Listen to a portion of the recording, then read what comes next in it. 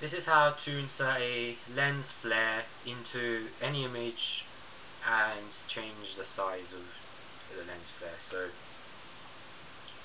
let's go File, make sure make sure Photoshop is open. File, New, uh, name it something, lens flare, preset, photo again if you want, defaults, okay.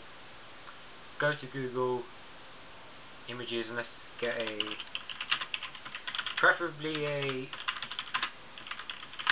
a image that's got kind of like I don't know like what are we gonna call it?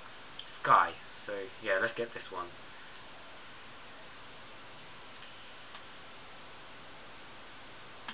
Oh I don't know if that copy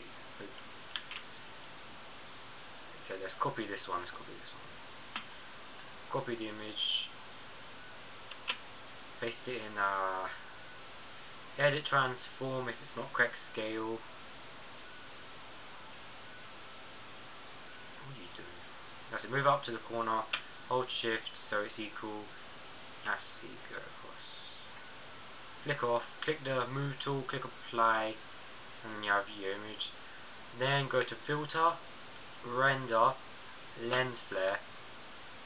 Move that across all see it then select where to put your flare and change the brightness and stuff, have it less or more.